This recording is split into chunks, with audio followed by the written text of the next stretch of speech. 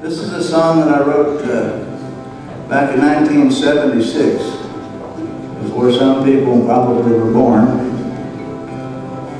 But it was the first uh, Arab oil embargo in the United States, and the truck drivers were blockading the interstate highways, and a young man went up and he stuck a microphone in one of these truckers' faces from a local television station, and he said, uh, do you realize you're breaking the law?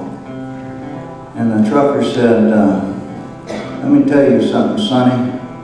He said, when a man can't put food on the table for his wife and family, he's going to break the law. So I wrote this song about it. So you never picked no peaches, you never rode the boxcar train, never worked out on the road gang or slept out in the rain.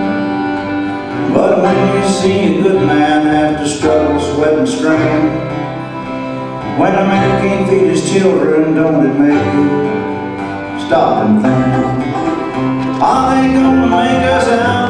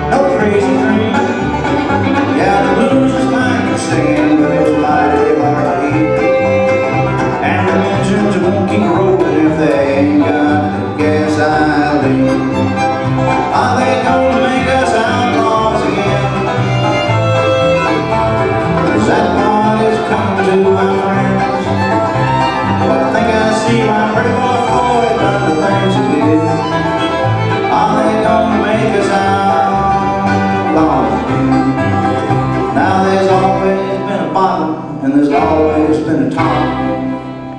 And someone took the orders and someone the shots.